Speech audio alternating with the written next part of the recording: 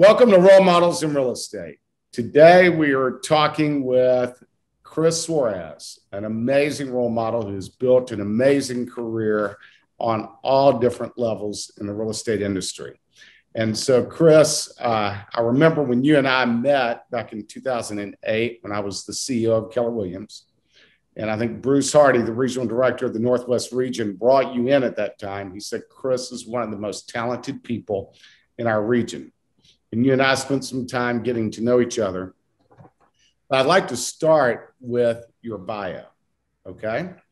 So we have Chris Suarez is the co-founder of Place, a full-service real estate and technology platform that partners with the top 1% of agents and teams by helping expand their profitability, value proposition to the consumer, and grow their local brand all without having to leave the brokerage where they are currently affiliated.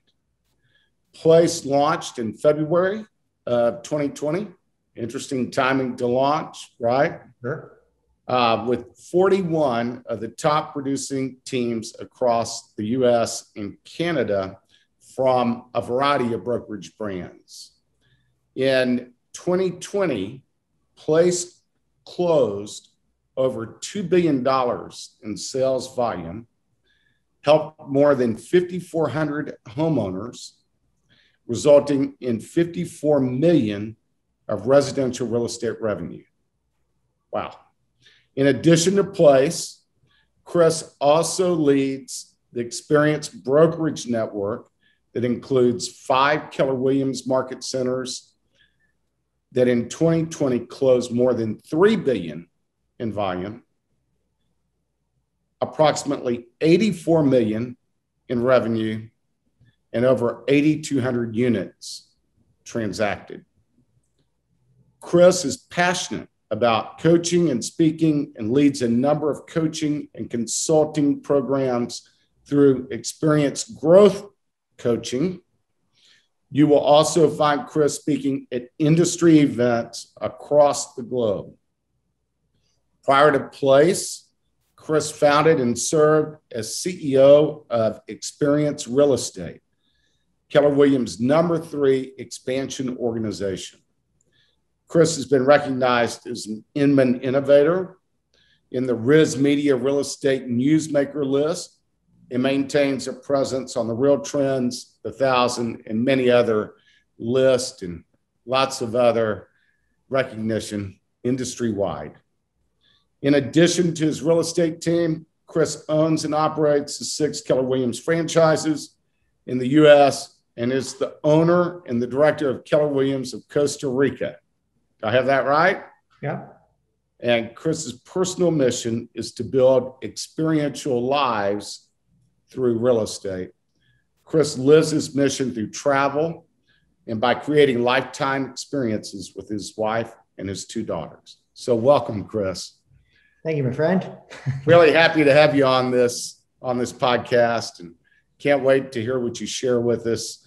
Um, one of where I like to start these conversations, I like to go straight at um, kind of talking about when you launched your career. And with all the podcasts that we've done, we've asked our our our podcast subjects, the people that we're talking to, to talk about when they got in real estate, why they got in real estate, um, what what their first year of their real estate careers, how that turned out, what it looked like, and um, just to give us full context on yeah. how you got into this industry. Yeah, it's interesting for me to for me to go there as well, right? In in, in my head and, and think about the beginning. Um, so I, I got into real estate. Uh, it was, um, well, I was 20, 20 years old. Uh, so about two decades ago, uh, if we do the math. Um, and why? Interestingly enough, I was a pre law major.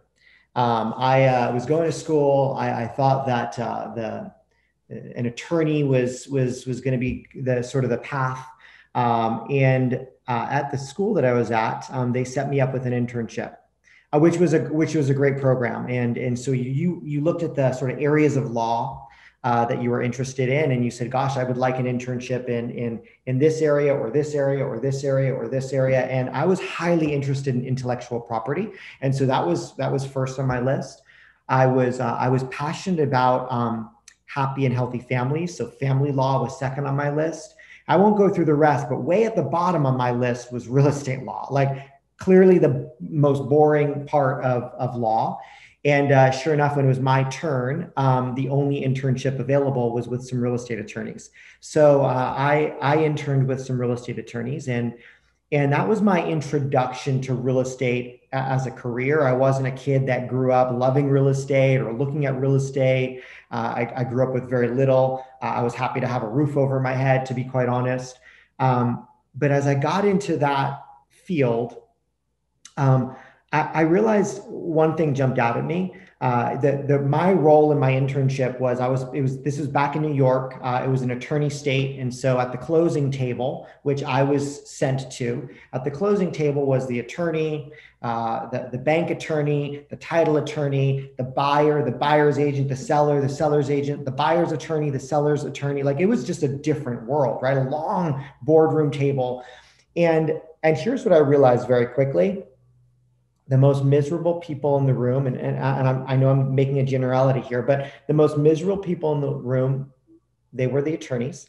And the happiest people in the room, like th- that were engaging and they, they were glad to be there, was, was the seller and their agent and the buyer and their agent. Like typically that was a good moment. Like they were getting keys or they were moving on to a different phase of their life. And and interestingly enough, like the checks were going in the wrong direction too, right? I was the guy that would cut the checks uh, and so I, I, would send the check to the buyer's agent and send the check to the listing agent. And then I'd take the check back to the attorney's office. I'm like, this is not the big check either.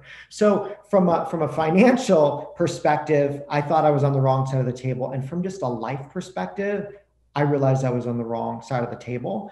And, and so I got my real estate license. And and, and I had plenty of people that said, gosh, I think you'd be good in real estate. I think you'd be good in real estate once I ended up in, in that industry. Uh, but my first year, I got my license. I was going to school. I was still working uh, for the attorney uh, down in the city, um, and and so I, I, showed up, and and and and honestly, like my first year was okay, right? I was I was 20 years old.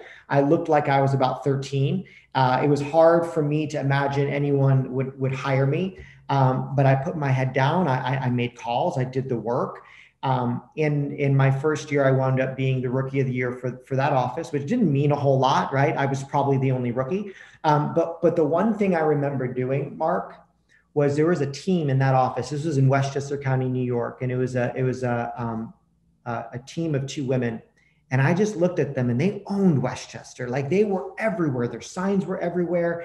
And I remember coming into that office, first one in the office always, last one to leave the office always.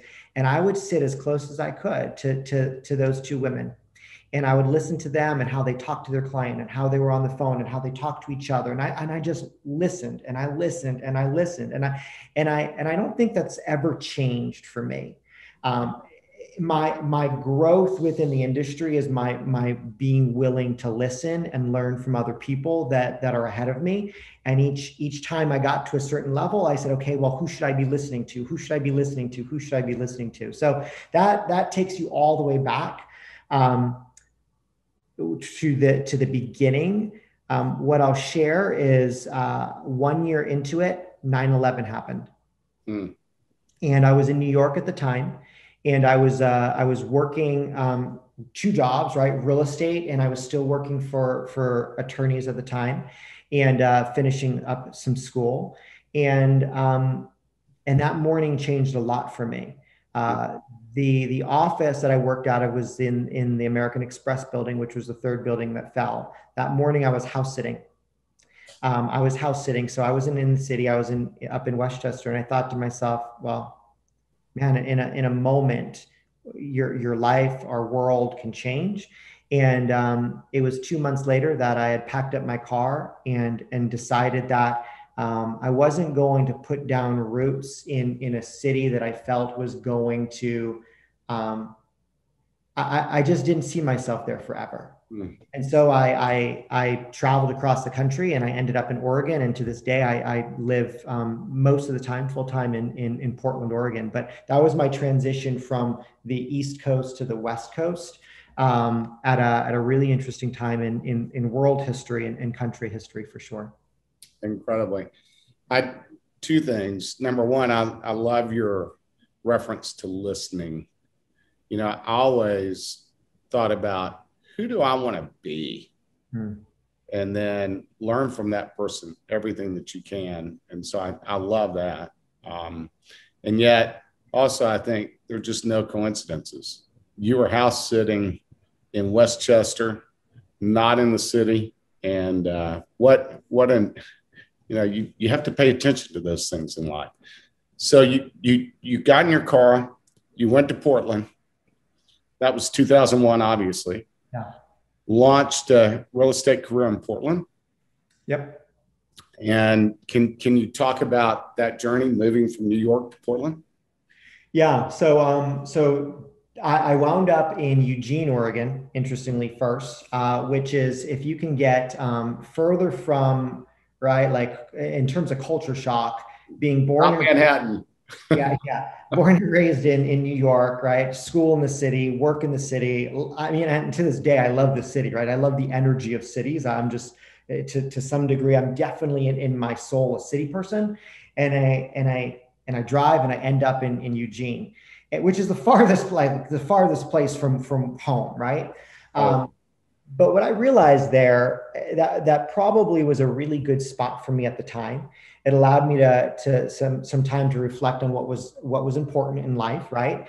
And and it was a competitive advantage as well mark right? How i was raised um, how i learned the industry how, how i was sort of grown up in the industry. Um, you, you don't you don't sell houses unless you're you're you're on it in new york right? Like i i never changed my schedule. And yet when I when I came to Eugene, a completely different pace of life than, than sleepier right? A little slower. Yes. Yep. Yeah. Right. Like smaller college town, definitely laid back.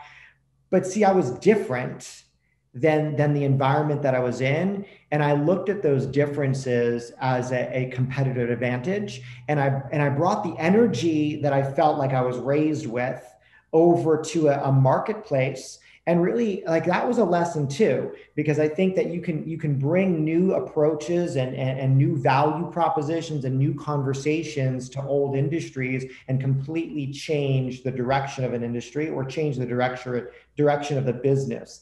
And so that was um, i was there for about five years um, built up uh, a real estate business there. And really uh, it, it wasn't anything to speak of mark um, but but I think I think the importance there was I learned the value of relationships.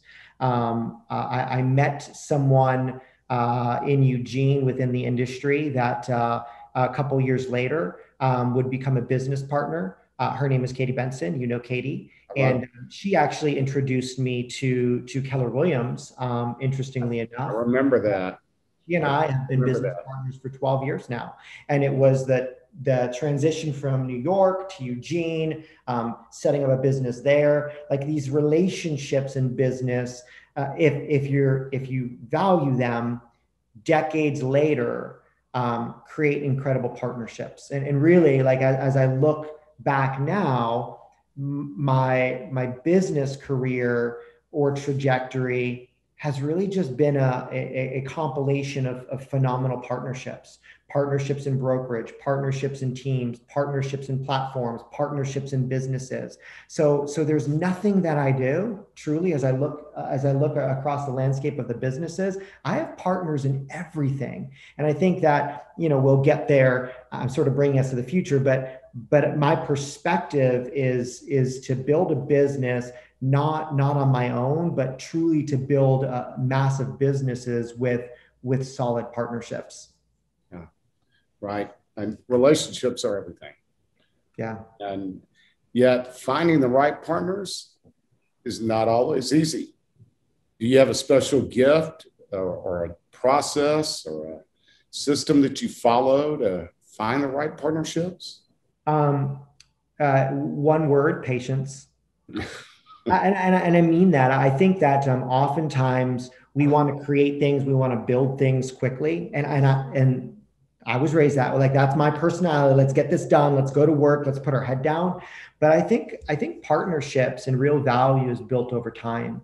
And so unless we're able to cultivate patience, which is not a natural quality that that I that I have, unless we're willing to cultivate patience in those partnerships.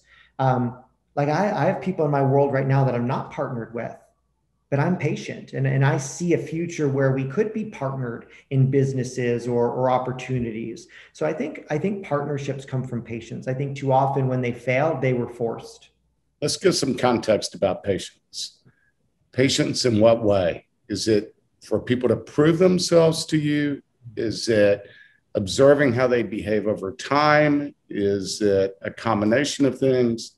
How, how do you get to the point where you go, okay, I've had patience, and now I believe that this is a potential partner. Yeah. Um, that's an awesome question. And I think that the two, um, the two potential answers stand out very different to me. Um, I, I'm not a person that comes to the table believing that people need to prove themselves. Um, I actually approach uh, relationships and people assuming that they already have like uh, assuming that they they don't have to prove themselves to me but over time um, i see how they show up in different situations. And actually I, I think it's almost the opposite. They disprove themselves to me. Like I, I i i want to keep my belief in people and i think it's sometimes hard to do the more people that are in your world and you've yeah. experienced that as well right? Through through just um, being surprised at times of how people react or, or how people respond. My, my belief in, in, in humans and people is strong. And so uh, the patience for me allows me to see people show up in, in, in wildly different situations. Like I want to go through situations and struggles and, and difficult times and good times. I want all kinds of situations for us to experience it together. I want them to see me at my best. I want them to see me at my worst. I want to do the same. We all have those moments, and it's how people respond that I'm able to to look at and say, hey, um, do they respond how I would respond? If not, why? What can I learn from that? and and really who are who are they at the core of of of of their being because i've always said that um, I might be a, a, much, it much might be a much slower path to growth. And, and my history is some people would say, you've been at this for 20 years and this is what you've built. Like I, I sometimes I feel that way. It's I don't think so, Chris. I, I don't think so. I, I mean, you're, you're, you're being humble. You're well, being modest. So I, so I look at that, but but there are people that have have built things ma- massively bigger, much faster. But for me, I can look around and Mark, and I mean this, I can look around and, and have hundred percent confidence that we've built with good human beings. Now, not everyone that started is still here, but as I look today, that that patience has has ensured um, good people being the foundation of the business and, and it allows me to wake up every day excited and go to bed every day content. And, and, and that to me is, is sort of a foundational um, pillar of our, of our business businesses. Well I, I love the context of looking at people and assuming the best about them. Because when you see the best in others they'll see the best in themselves. And then just letting time be what defines whether or not someone is worthy of a partnership and opportunity. I think that you know time is what over time everything is revealed. Mm. Um, I know that personally, I, and I'll, I'll just speak from my own experience. I know I'm a low three on the AVA, which is a behavioral profile. The vector three is the vector of patience, right? I think you're a low three we matched identically on the. I, I, remember that. Mm-hmm. I remember that. And so this is intellectual patience. It's in spite of what you feel inside, intellectually staying patient. So would you agree with that? Yeah, I would. I think you and I have had a conversation in the past about um, my fascination with with delayed gratification. Oh yeah. Which is not again for low vector threes. That's not easy, right? Delayed gratification. And uh, it was interesting because I, I, began uh, on the journey of understanding that through through looking at the work of of Walter Mischel out of Stanford University, and he did that wildly popular marshmallow test, and and uh, we all kind of watch those videos and think it's a cool little experiment, and we see kids that got to eat the marshmallow right away, and those other kids that were able to delay their gratification for eating the marshmallow, the chocolate chip cookie, or the M and M's.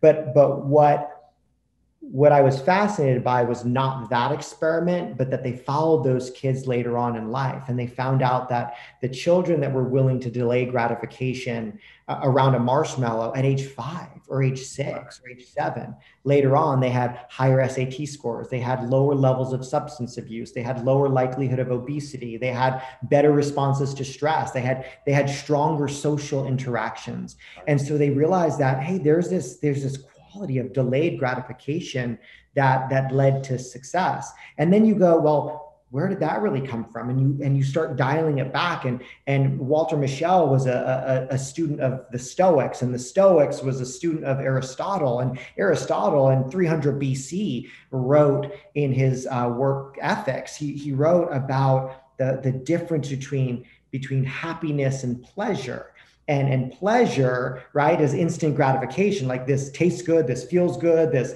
right this the like it's it's just it's it's immediate gratification. But happiness actually came from separating delayed gratification with working towards uh, being good at something with with accomplishing something with so i i look at that and say delayed gratification has has shown up um, almost everywhere in in in in my life. And and I thank my parents for that.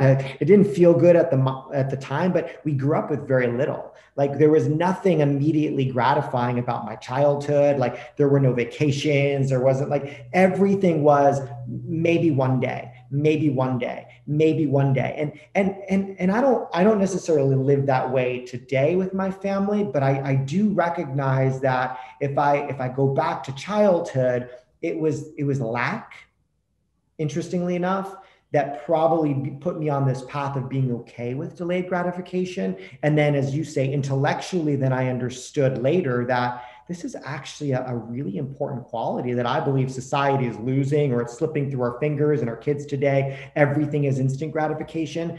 We will end up with some problems later if we don't bring that back into at least the conversation. There's there's no question about it uh, we do, we live in a world that is today, it's about I want what I want when I want it. And yet, when you get it, the minute you want it and you haven't strived for it, you haven't worked for it, there's no satisfaction when you get it. And so there's this ongoing hamster wheel of like remorse, like I don't have enough. I want to get more and more and more. And having that, that emotional control, control your emotional need to get it immediately. Yeah. Uh, in exchange for worthwhile work that in the end is a reward through what you get from that worthwhile work. That's far more gratifying long term, right? I, I, think that when we're striving for something, uh, we're doing what we're meant to do in this world. And yet that's that's not what all the stimuli around us suggest on a daily basis. So that that emotional control is is a big deal. And and I don't think it's willpower. Like I I don't think it's necessary willpower. I think it is understanding the reward of good work and valuing that effort. Yeah. Uh, yeah, we could we could have a, a whole conversation about this for hours, and it'd be such a blast. I'd love it, and I know I know you and I'd have fun. But I also I I want you to share. Um, you know, I went through where you are today in the bio. Yep. And uh, you you you've had some amazing success, but let's break it down. So you have the experienced team. How many locations? Uh, Well, today, um, today that that team became place, um, and we're in about 50, 51, 52 locations right now. 52 locations. Now, is that how many different uh, cities? 50. Well, mm, that's a great question. We have we have multiple uh, organizations in a few cities. So I would say out of those 52, there's probably 45, 46 cities. And you're talking about the North, the South, the West, the East, yeah, Middle America. Yeah, from New York City back home to Westchester, down to Miami, big in Austin, Houston. California. Yeah, all over the place. And how many agents?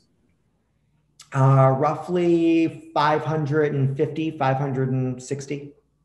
And those 550 agents do how much volume? Um, last year, uh, they closed two billion um, in in real estate. Um, did about uh, I think the, the end number was fifty eight million actually in in revenue. Wow, wow. So a high, you know, I think I, I appreciate you asking the the the question around the numbers, not for the accomplishment, but when you look at um, our focus has always been um, building experiential lives through real estate, right? And the only way you do that is if our real estate agents are productive.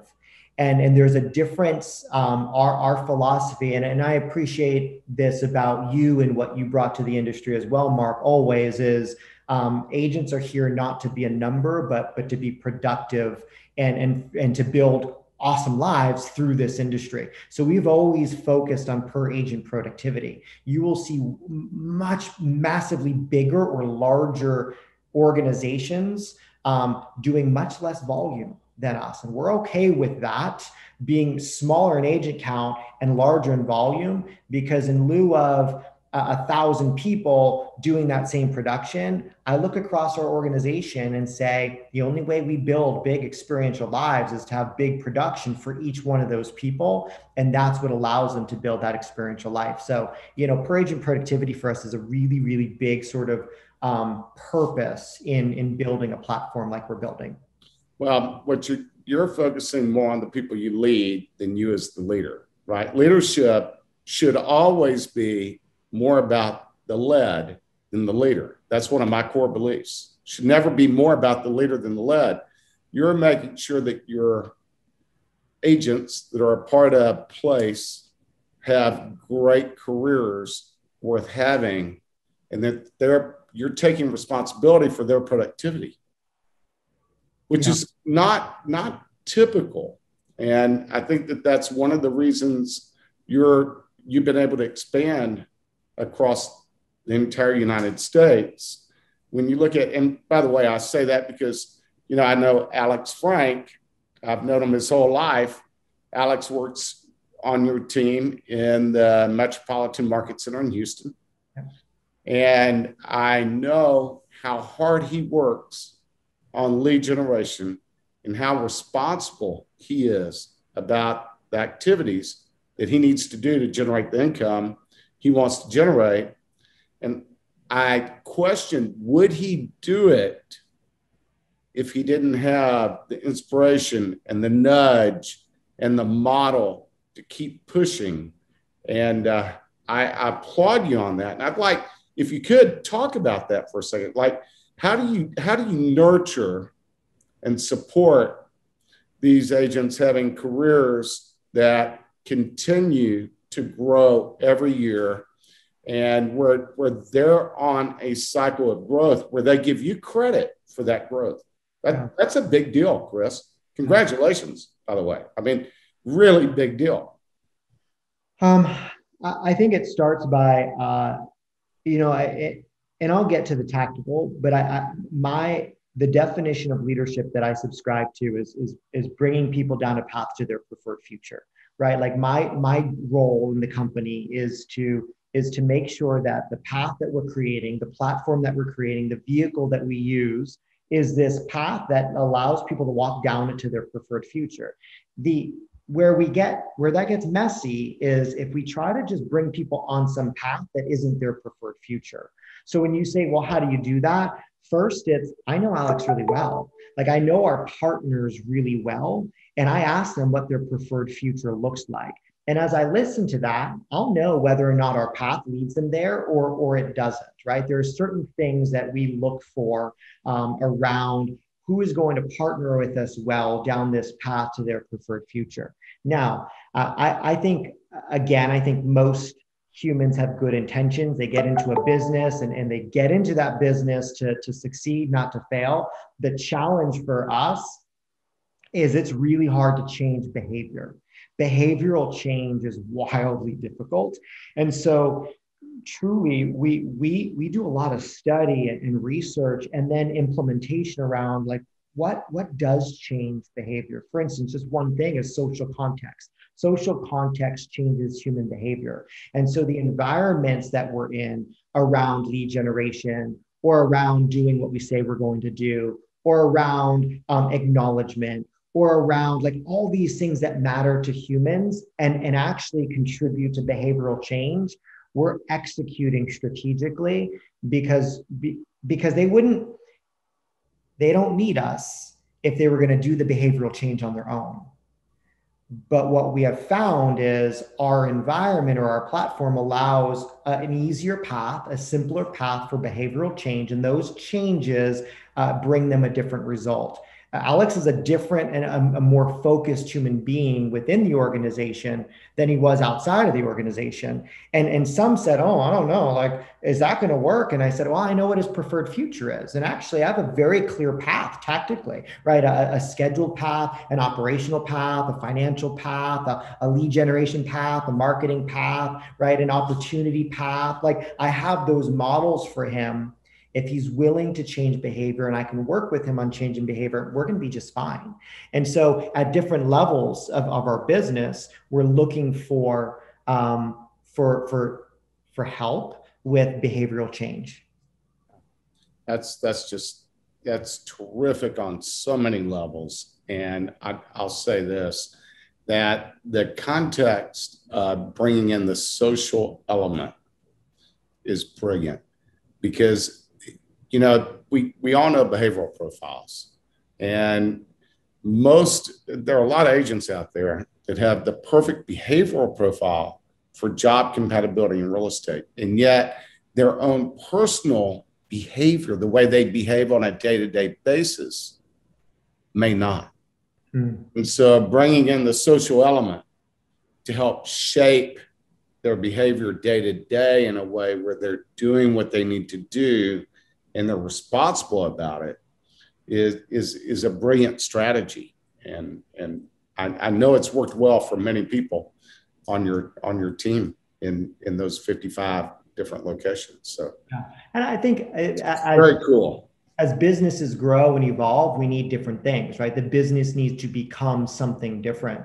I would say um, for for our organizations, right, that top one percent, they're looking for something different. Mark, like they they, they typically when we partner with someone, the average uh, business owner has has generated about a million dollars in revenue for in the previous year or or consistently, and and they may be stuck there. But but those problems are different than a launching agent's problem right? Those problems in, involve operational, right? Streamlining operations. It involves understanding P&L and, and budget and having some financial models. It involves value proposition because now they're moving from being um, purely consumer focused and, and how do I find a buyer and a seller to really being um, people focused in the sense of how do I find talent, attract talent, keep talent? How do I how do I provide leverage for that talent so they can build organizations within our organization? How do we create an opportunity model? Because I think everybody loves opportunity. It's it's moving towards that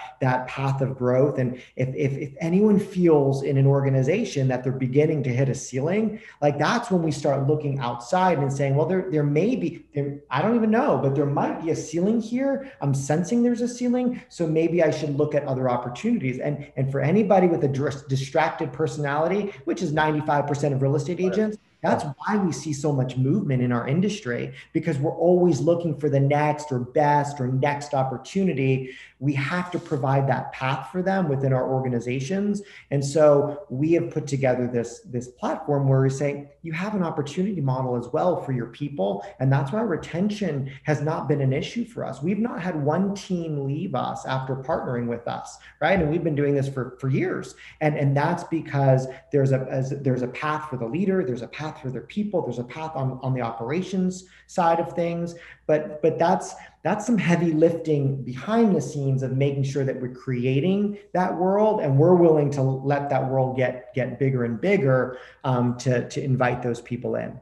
How large is your support staff for those 550 agents?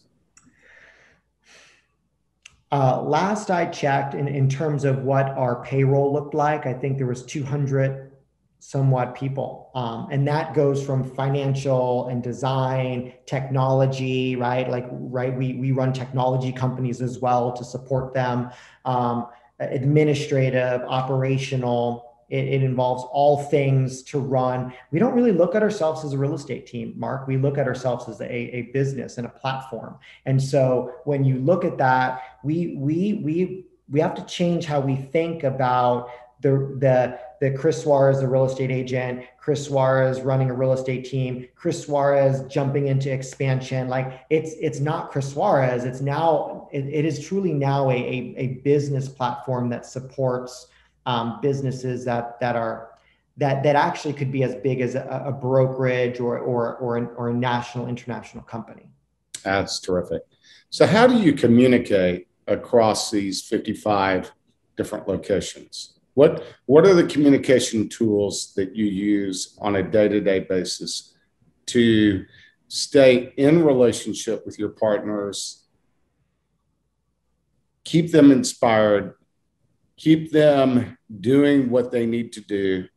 What what are some of your your different systems? Yeah that's a good question. How, how you stay in that relationship solidly what what we realized early on is is that we looked at companies that got got big and as they got big things began to break down and, and why was that and largely that comes from not allowing or creating um, a space for for people to um, build tribes within a tribe.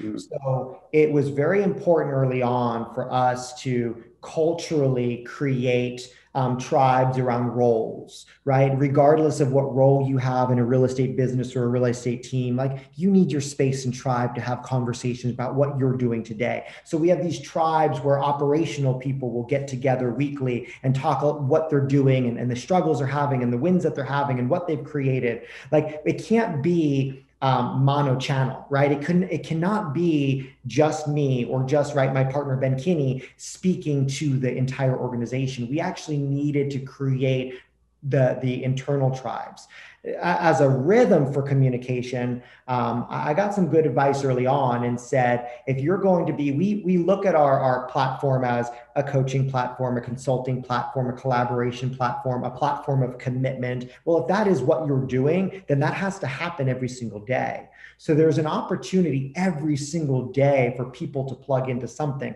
Monday, Tuesday, Wednesday, and Thursday anybody and everybody in the organization can show up to something. And, and that has to do with mostly real estate, right? We have a rhythm week one, week two, week three, week four. We talk about lead generation week one, uh, lead conversion uh, week two, presentation week three, learning to use leverage week four. We have a leadership track on Fridays where we look at the future leaders of our organization and say, hey, we need to be developing them. And, and even if they never will be leaders in the organization, like they they're leading themselves they're leading like parts of teams and so we have a, a track for for who we're we're earmarking as potential leaders every Monday we have a we have a, a one every Monday. Like a Monday does not go by where we we bring the leaders of the actual organizations, the, the 52 partners together and actually have a conversation with them. Um, could be could be initiatives, it could be production based. Mostly it's it's personal development, self-actualization work, leadership work. Every Friday, I speak to the entire organization and I mean every Friday. So, um, like I, in, in a week, and I've been doing that for now six years six years. And, and on average, every year, I might miss three Fridays. So we're talking 49 to 50 times every Friday for an hour, right? The, earlier today, I was on, um, and, and, I, and I speak to not necessarily real estate growth, but just personal growth. Like what what can we what can we share with our agents so that they feel like they're on a personal growth journey? That this organization isn't just about how do they sell more real estate but how do they become better partners and and and and, and friends and people. And and so like there's this constant rhythm of, of communication um, from from leaders but also from from their tribe, from their people. And I think I think if we look over the last year, Mark, we we're in April uh, 2021. Um, there's been some challenges in our country, in our world, but interestingly enough the way that people have dealt with challenges sometimes good sometimes not good but but the way that they deal with challenges is we all go and try to find tribes right and sometimes those tribes become polarizing and that that presents a, a problem but even in that polarization if you look at what's going on it's the human need to feel part of something or, or want to find people like them. They want to connect with people. And I think that's just as important for whether we're a three person team, a five person team, a 20 person team, or, or hundreds of people, thousands of people, large organization. If we lose that importance, we will lose our people because they'll go find a tribe somewhere else. You know, you and I also had the conversation about the hierarchy of needs and Maslow. And, you know, our primary need is safety, food, shelter. And yet, right above that is the need to belong to something. And so, what I hear you're creating with place is you create a place where people can belong, even not just as a whole, but even within their sub tribes, right? Yeah. Um, it's, it's in our language uh, when we welcome people uh, we welcome people and you we that that name is not just a random name. Like we truly wanted to create a place right? Uh, a place for for for these tribes. We we welcome people and, and when we when we send them their welcome like their welcome kit it says welcome to our place. Welcome to your place. And they identify um, with their community. I think it's really important. Yeah, it's it's that that it's that hierarchy of need. One's one safety, like you said, and once those physiological needs are met, uh, love and belongingness will actually lead to that fourth need which is esteem right like feeling good about who we are esteem for for oneself um, the desire for respect to be respected and have a reputation within our community as well critically important. And it's hard for that to happen unless you have those tribes. I, I want to switch gears for a minute and I want to ask you about lead generation. Okay. What are you finding with Place are the most effective lead generation strategies?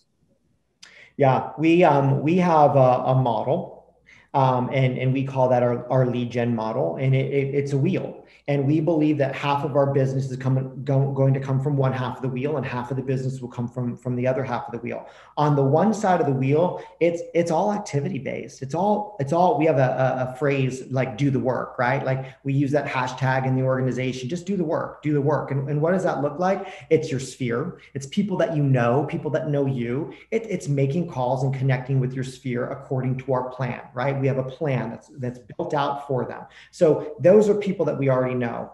Um, everybody does opens, right? Like whether it's virtual or in person, but but open houses are still a bit like 20 years later, guess what? You meet people when they're when they're engaging in shopping or engaging in looking at homes, buyers and sellers. So we have a plan, right? For opens. How do we execute that really, really well? And the third part of that wheel or activity-based wheel is what's called prospecting prospecting and and that that is ultimately going out and finding people that you don't know and and and quite honestly i don't care what you do for prospecting however we have a plan we call them our levers and so if you say gosh i really like getting on the phone and calling expireds awesome then execute our expired lever No, not me. I really like for sale by owners. Awesome. Execute our for sale by owner level. Oof, I don't like either of those two. I'm terrible on the phone. I like to door knock and get face to face.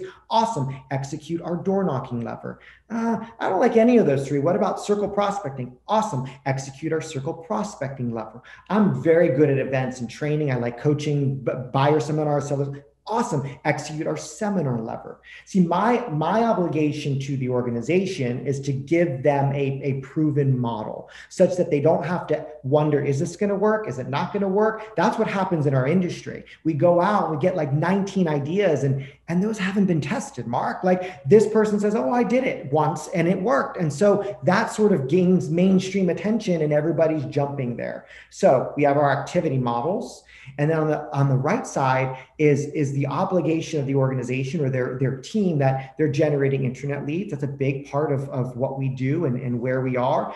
But that's a model. The lead comes in, there's a there's a process that they go through. So it's internet, it's it's um, leads off of listings, right? Which is the, the company has generated leads to be able to hand to a, an agent on the team. Um, and then it's a bit uh, business that is sphere based that's owned by the business and right they, these businesses that we partner with five years 10 years 20 years some 30 years in the in the business they have this book of business and we actually apply plans to that book of business to drive leads back into the organization so it's or the agent so it's activity based and then it's team based leads. And i actually think a really healthy model is a one-to-one. For years we we actually tracked that. We had this little barometer on a on a on a scorecard and it showed how many leads we our goal was one to one and, and if we if we move too far to the agents generating their own leads, we looked at the organization and said, why aren't we generating leads? If we move too far from the organization generating all the leads, we said, gosh, what are we not doing to train and coach and consult our people? Because we don't want them to just come here and eat. We actually want to build the best real estate agents in the industry, which means you have to go out and learn how to fish. So we looked at it as a coaching barometer. Is it a healthy organization? Are we generating as many leads as our agents? Are our agents generating as many leads as, as the business? But we're not a leads platform. Like the, the the fallacy in the in the industry or the business is, oh, he who controls the leads will will control the industry. And I, and I just take a step back and say leads are important, but if it's who controls the leads, well, gosh, there are there are 50 million leads sold a year, but only 5 million homes transfer. So the lead isn't the most important thing. We have to we have to find that lead and then cultivate it and convert and be able to find who are our real our real potential consumers. And that's a that's a coaching conversation. But that barometer allowed us to see are we coaching our agents well. That is awesome. Uh, I mean, the data itself gives you all the answers you need, right? Just got to track it. Yep. And yeah, it was years of tracking. Like, you know, when you say, like, tell me exactly what you do for those leads. Like, so we took those levers, what we call them, and, and we had now we had hundreds of agents executing these levers. And here's here's what, and and we can show that. But but what we were able to do is any agent that was willing to say, yes, I'm going to commit to, to jumping on that lever. I just said, hey, I don't want you to get confused. I want you to do one thing. Just jump on this lever. I know a lever is the simplest machine built by man, right? It's it's only two parts. It's very simple. It has a fulcrum and, and the actual, right, the pin. And so if I, it's a seesaw. If I sit on this, I need to be guaranteed to know that it's going to go up. And that's what our levers do for agents. We say, we know that if you execute this 75% of the time, according to plan, like you're going to be a six figure earner. We can prove that, Mark, because we have years of data, hundreds of agents. Now, I said 75% of the time, and here's why because nobody's perfect. It's, everybody has a bad day, everybody has a week. A bad week we or we take a week off like I, I didn't we can't create systems around perfection and i think oftentimes teams do that or businesses do that and like wow you didn't do it this week and so now everything's shot we had to create something such that no one's perfect. We don't want to expect perfection. If you if you execute three out of four weeks properly you're going to be okay. Got it. That's terrific. Okay so um, one one of the things that i want to just dive into, and we can do this briefly, and yet I think it's an important conversation. I think there are a lot of agents that have great local businesses that might think that it's time to expand to secondary markets. what wisdom would you share that you've learned experientially with any agent that's got a local business that's thriving is based on their personality and their their reputation locally and the brand that they built locally what advice would you give to an agent that says okay i want to take what i've done in portland and now I want to go do it in Spokane. Mm-hmm. Uh, now we're, we're, talking about we're going to have to cross the state line. We're going to have to go, you know, hundreds of miles. Um, we're in a now a totally new market, and yet I know that what I built in Portland can be duplicated, say in Sp- Spokane. Yeah. What what advice? And I, I know you're going to say patience first. build what you have locally. Um, but what, at what point do you do that?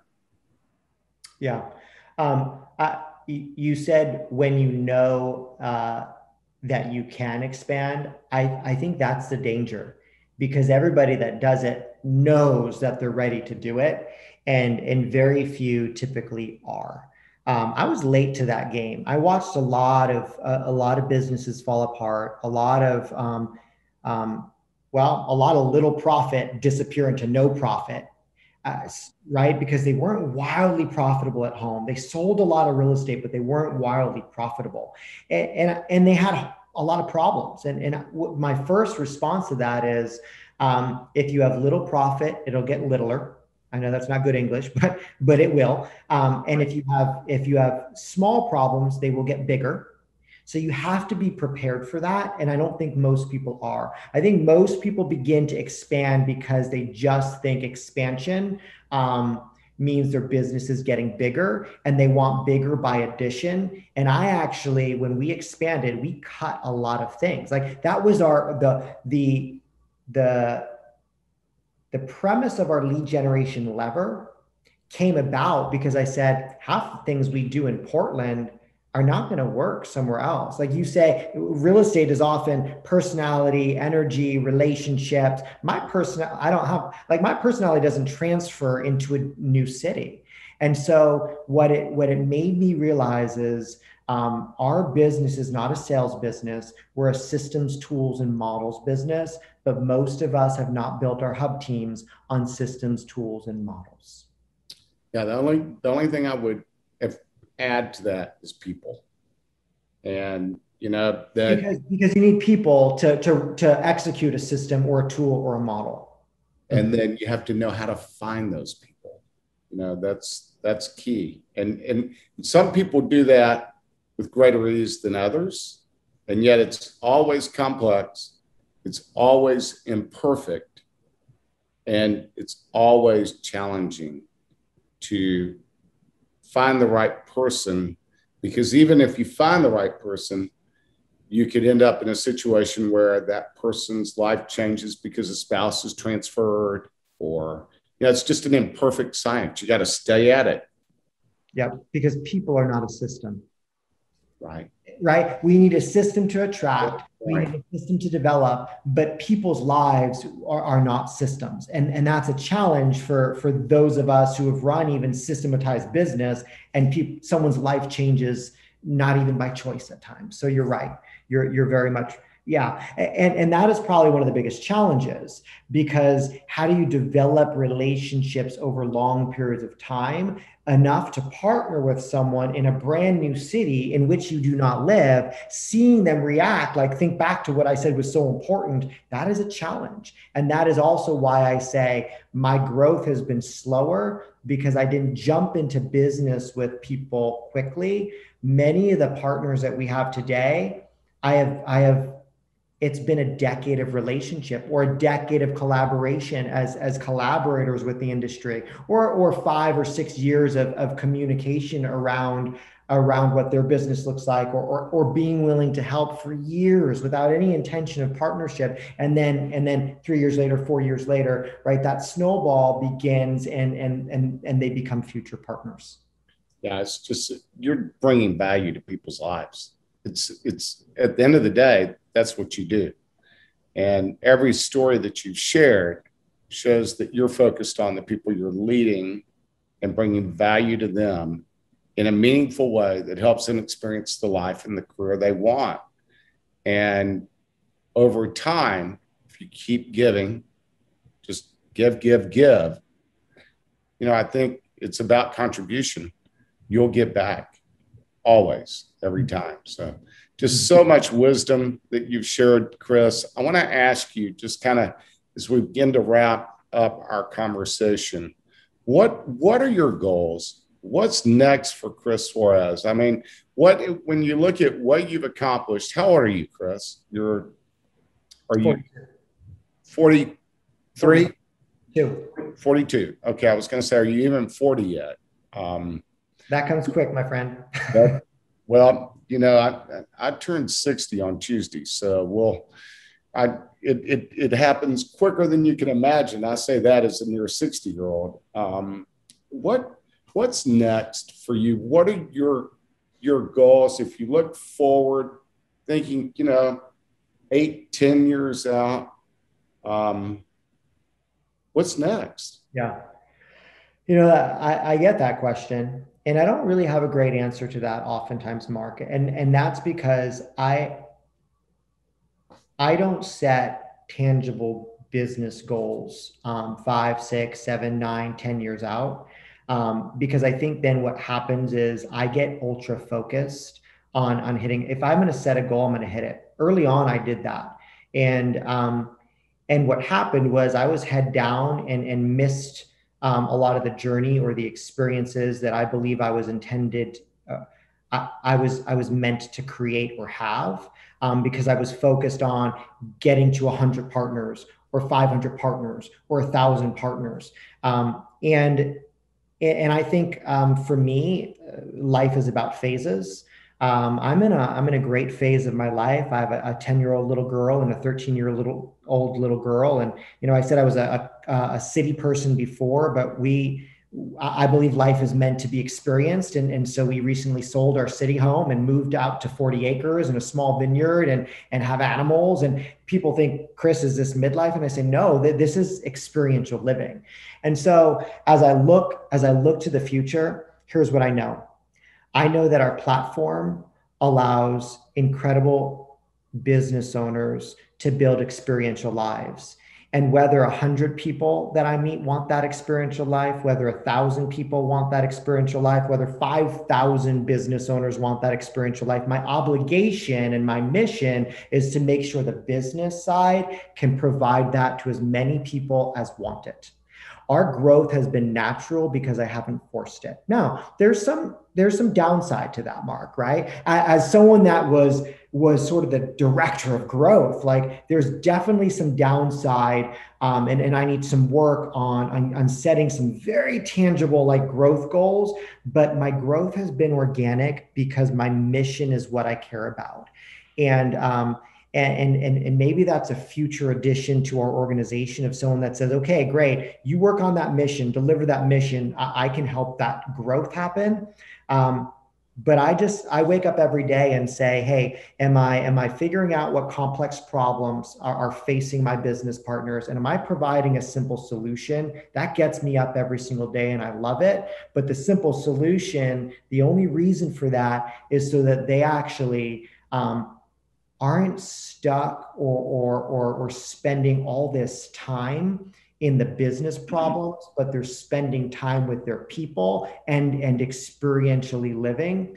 And, and for me, if I continue to do that from, from uh, from now until the indefinite future, I'm a really happy person.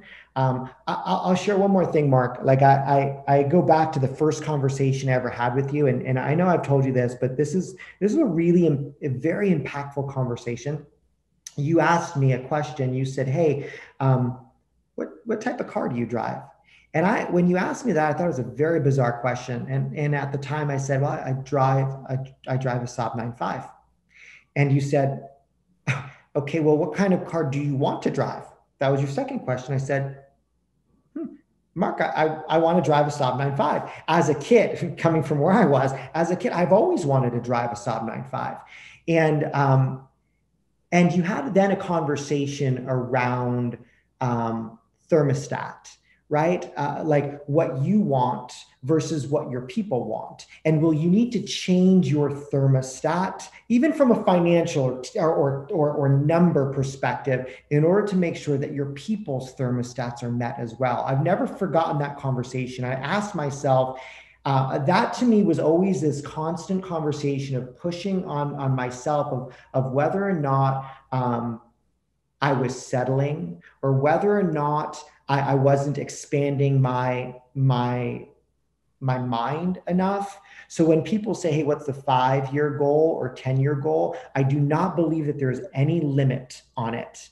And so that's why I don't put a number there. But what I do put a number on or, or, or a tracker on is you know, not every day is going to be experiential. But for the majority of my days, do I wake up and I go to bed and, and, and, and enjoy the experience I had the day before? Yes but I have conversations every week with my partners as well. And I'm asking them questions to really get a gauge on whether or not they're living experientially. See if they are, mission accomplished. If they're not, we have some problems to solve. And I don't believe that anybody doesn't deserve the right to have that experiential life. So I see every business owner as a potential PLACE partner and it, it, then it's then it's my obligation to to to and I appreciate this platform right to share what that looks like um, and potentially it's their preferred future. Chris, I I love because being mission focused as an organization where you're clear about who you are, what your values are, what matters to you, and how you can help people live the experience of their preferred futures is that those that's more meaningful than numerical goals. And that's the substance that will support ongoing growth. I think that a lot of people get bogged down in thinking that they have to set numbers. And and, and I, I love the context of the unlimited you know potential no ceiling mm-hmm. no glass ceiling. And so I, I just got to tell you that this has been seriously one of the most stimulating conversations that I've had with a leader in the real estate industry in a long time. And I, uh, I'm your biggest fan. I love what you're doing, love the way you're doing it. And I, I want to thank you for your massive contribution. Um, not just by sharing so openly in this podcast, but your massive contribution to the women and men in the real estate industry who you are helping live their preferred lives. And, and I'm inspired, I'm uplifted. Thank you for lifting us all up and, and raising all of our ceilings today, Chris. I want to follow up. I could do a series of podcasts with you that that would go out on a weekly basis. If if um, if we could, we we probably need to have a sequel to this because there's there's a lot more curiosity that I have and a lot more I'd like to learn. But thank you so much for sharing. This has been I amazing. I always enjoy our conversations, my friend. Thanks for. I do too. Have a terrific day. You too. Thank you.